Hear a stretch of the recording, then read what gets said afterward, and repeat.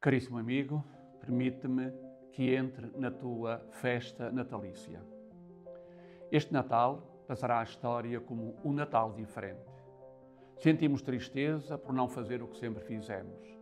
Não experimentamos os afetos habituais. Lamentamos o isolamento a que nos vemos obrigados. Parece que nos falta qualquer coisa. Com tantos condicionalismos, devemos encontrar alguma coisa que mostre que o Natal não perdeu a sua beleza. Menos coisas exteriores, mas algo de novo a nascer para ficar. Com esta intenção, recupero um pensamento da encíclica Fratelli Tutti. O Papa afirmou que para construirmos uma fraternidade universal, através de uma amizade comprometida, teremos de recuperar a amabilidade. Recuperar a amabilidade. Recuperar a amabilidade porque se trata de uma atitude que resplandece nas relações e que hoje, fruto de muitas situações, nomeadamente a pressa e o anonimato em que se vive, está a ficar esquecida e, quem sabe, para algumas pessoas, a desaparecer. O Santo Padre defende o que deve caracterizar o relacionamento. Não tolerar atitudes ásperas, rudes, duras, mas também de um modo positivo, cuidar de comportamentos benignos, suaves, capazes de confortar e apoiar em todos os momentos. Quando nos preocupamos com a amabilidade para com os outros, somos capazes de os ajudar, para que a sua vida se torne mais serena, sempre, mas sobretudo quando se encontram envolvidos por problemas, angústias e interrogações. Devemos ser capazes de ter amabilidade no trato, Cuidado para não magoar com as palavras ou com os gestos. Aliviar os pesos que incomodam. Ao mesmo tempo, reconhecer que a amizade, toda ela, mas sobretudo a familiar, exige palavras de incentivo que reconfortam, consolam, fortalecem, estimulam, angustiam, irritam, desprezam. Pensando um pouco, não teremos de rever a nossa linguagem? O que é que comunicamos com as nossas palavras?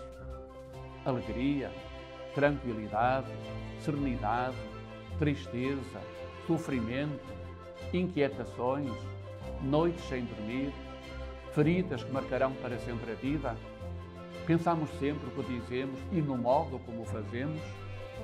Para que a amabilidade aconteça e resplandeça no cotidiano das nossas vidas, necessitamos de encontrar tempo e energias para nos demorarmos com os outros, tratar serenamente com eles. Sabemos muito ansiosos e sem disponibilidade para pensar no próximo e vizinhos.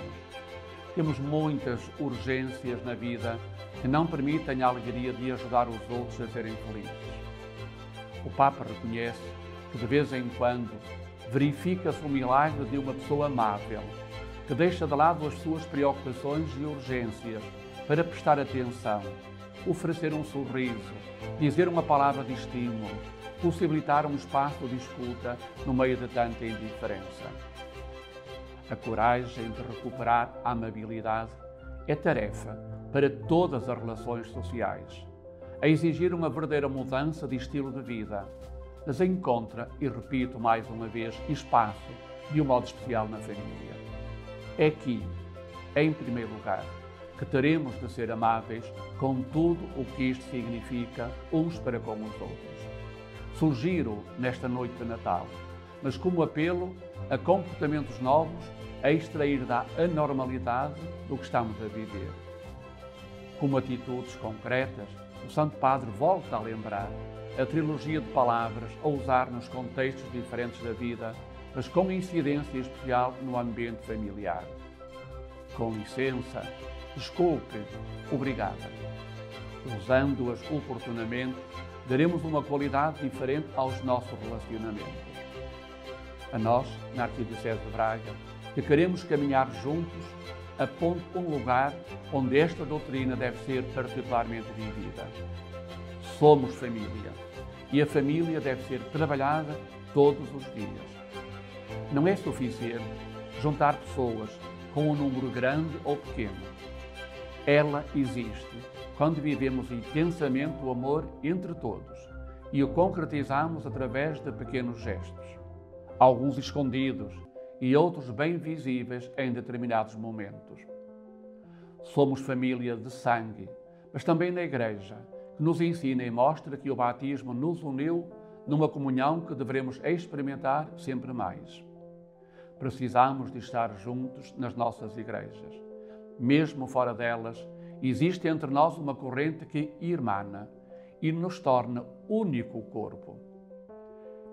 Amigos, ainda não acreditamos suficientemente nesta doutrina. Renovemos também neste Natal a certeza de que estamos interligados na fé, no amor e na esperança. É nesta certeza que quero abraçar cada um com muito afeto e carinho. Olho para as pessoas que se encontram sozinhas. Recordo os idosos que se encontram nos lares, longe do ambiente familiar. Alargo o coração aos doentes dos nossos hospitais. Manifesto amor e estima a todos quantos trabalham nestes dias e sempre para garantir qualidade de vida. Médicos, enfermeiros, operacionais de saúde, bombeiros, voluntários. Olho com muito reconhecimento para todas as IPSS, carregando com as direções e trabalhadores a vontade de sacrificadamente servir mesmo à custa de noites sem dormir. Uno-me particularmente a todos quantos se comprometem abnegada e sacrificadamente para que as nossas paróquias cresçam cotidianamente na lógica do amor e do testemunho do bom samaritano. Aos sacerdotes e consagrados, não receio em afirmar que quero bem a todos e a cada um. Aos seminaristas e a quem procura o sentido para a vida, lembro que nada há melhor do que o amor de Deus. A todos empenhados nas paróquias, em qualquer área e setor, recordo que o caminho a percorrer é longo, mas recompensador. Aos políticos, em qualquer serviço institucional, ofereço a vontade de caminharmos juntos para uma fraternidade onde os direitos são para todos. Abraço particularmente os pobres, nos diversos rostos da pobreza, e asseguro que continuaremos a fazer o melhor para que vivam felizes. Sinto-me próximo de todos os reclusos na esperança de que aproveitem o tempo de prisão para estruturar uma verdadeira reintegração na sociedade. Asseguro um caminho especial ao sem-abrigo, a quem gostaria de oferecer a vontade séria de voltarem ao convívio com os seus. Estou com aqueles que não se puderam juntar aos seus para passar as festas juntos e asseguro-lhes que amanhã voltarão os encontros familiares. A todos, sem excluir ninguém, católicos e não só, conhecidos ou desconhecidos, quantos vivem no território da Arquidiocese de Braga, digo: pertenceis à minha família. Vivo para vós. Aceitai a certeza do meu amor. Que o Deus Menino nos liberte da pandemia e nos conceda o dom de dias tranquilos e sem medo.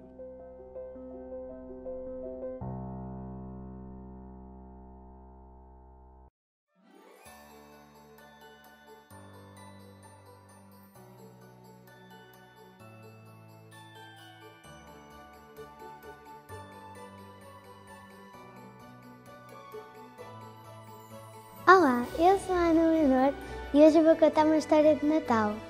O Natal é uma história muito feliz porque Jesus nasceu. Era uma vez. Era uma vez.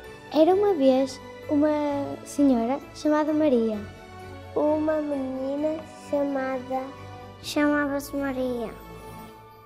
Ela era bondosa, carinhosa. Ela era muito educada e tinha muitos amigos. Que ela queria casar com um homem que se chamava José. Namorava com um senhor que chamava-se José. Estava a falar com as suas amigas, eu acho. Estava a limpar. Ela rezava todos os dias antes de dormir. Um dia, quando ela foi rezar, um anjo apareceu. Apareceu um anjo pela janela O anjo. que o anjo foi ao quarto da Maria. José ainda não estava lá. E depois o anjo Gabriel disse-lhe: O anjo Gabriel disse a Maria que, que ia ter um filho. Maria, tu vais ter um filho. que a mamãe de Jesus estava grávida. E isso que ia ter um bebê. Tu vais casar-te com José e vais ter um filho. Chamava-se Jesus. Ele será filho de Deus. E ela ficou surpresa, E ela disse sim, aceitou. mas também feliz ao mesmo tempo. Então, nessa vez, ele ficou, ela ficou contente, eh, feliz. José praticamente ele ainda não sabia. Era muito estranho, então ele ficou. É melhor ir dormir e depois amanhã conversar. E o José ficou triste. O anjo apareceu para o José. Mas o, um anjo Gabriel veio dizer que era filho de Deus. O anjo foi no sonho do José e disse: José, aceitas a Maria em casamento? Ele disse sim. Já que ele sabia que era filho de Deus, ele ficou também feliz. E ajudou a Maria.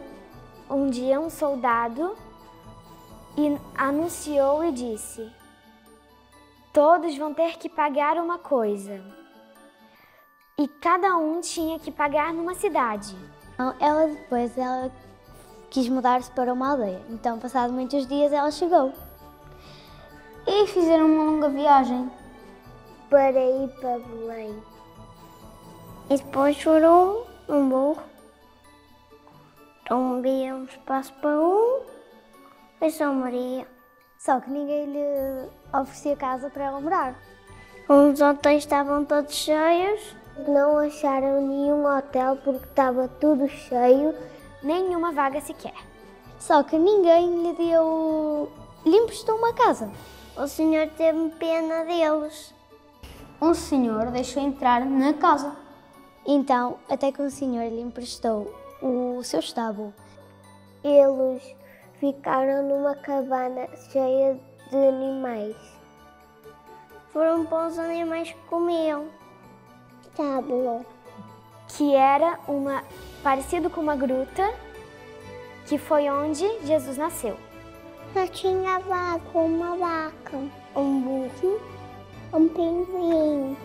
Tinha carneiros, Uma vaca e um burro. tinha ovelha, um cavalo, tinha um leão, umas vacas e algumas galinhas e ovelhas. Tinha girafa e uma zebra. E José foi buscar palhas para Maria se deitar confortável. Só que depois Jesus nasceu. Jesus nasceu e foi pousado numa manjedoura, E então surgiu uma luz no céu. muito grande em cima da gruta. Primeiro chegaram os, os pastores. Pastorinhos, Uma estrela turbinha para guiar apareceu no céu. e lobo para não fazer nada. E depois chegaram os reis magos. E os, os três reis magos hum, sabiam que era, era um sinal. E sabiam que era o nascimento de Jesus. E então eles foram até lá e quando chegaram deram-lhe ouro, incenso e mirra. Olá, Jesus. Então eles deram ouro, prata, moedas e pedras preciosas. Um trouxe prendas, levaram moedinhas, um cobertor para ele, um bolo só. Sim, mas grande. Uh, ajoelharam-se a Jesus. Os pastores e também os três reis magos. Maria e José estavam sentados à beira dele. É só. E depois Jesus cresceu, cresceu, ficou muito feliz e depois salvou-nos. Feliz Natal! Diz assim, Feliz Natal. Feliz Natal! Feliz Natal! Feliz Natal! Feliz Natal! Já tá?